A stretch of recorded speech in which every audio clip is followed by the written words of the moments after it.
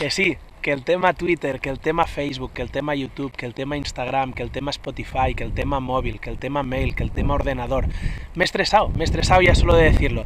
Entonces, está muy bien todo el día, espera que voy a hacer el tweet, espera que voy a hacer la foto, espera que le voy a poner tal filtro, espera que tal. Entonces, lo que os voy a decir ahora va a sonar a mierda, básicamente porque es justo lo que yo no estoy haciendo ahora, pero de repente coger un día y decir, ni móvil, ni ordenador, claro, evidentemente esto suele ser en fin de semana, a pesar de que yo lo cuelgue entre semana esto, ¿eh?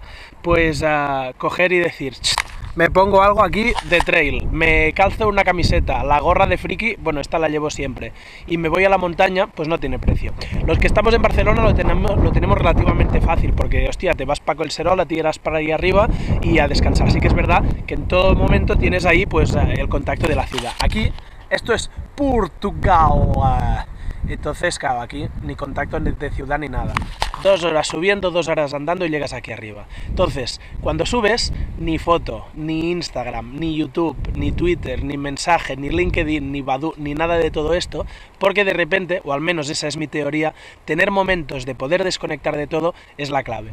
Si estos momentos donde desconectas de todo, incluso de personas, ¿eh? incluso de amigos, incluso de colegas, incluso de parejas, incluso de ti mismo, incluso de trabajo y de todos los problemas, pues es la clave, básicamente porque eso uno, para la saca, pero para tu saca.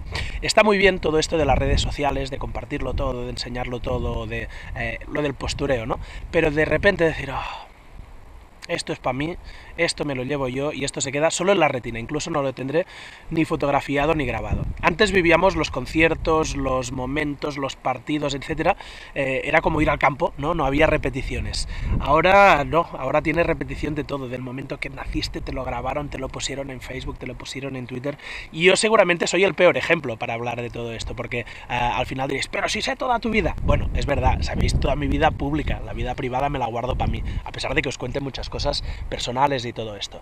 Entonces, recomendación, cada cuando podáis, a pesar de los retos, a pesar de entrenar, a pesar de todo esto, coger y decir, hoy salgo sin crono, hoy salgo sin rumbo, hoy salgo sin ninguna red social, salgo sin cobertura y sin nada de todo esto, y voy y lo, y lo guardo eso, para la retina, para mi retina, hostia, son cosas que reponen y que además, bueno, tienen este punto de intimidad que son propias, son únicas y no son de, nadie más. Y creo que estos momentos eh, o estas cosas son los que precisamente hacen que estas experiencias sean genuinas.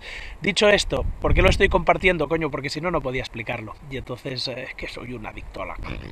Ah, por cierto, dejad aquí en los comentarios cosas que os guste hacer, momentos de desconexión, sitios incluso de desconexión, que tomaré nota y a ver si un día hago una entre comillas, guía de todo esto, ¿no? De sitios guapos para desconectar. Esto aquí está en Portugal.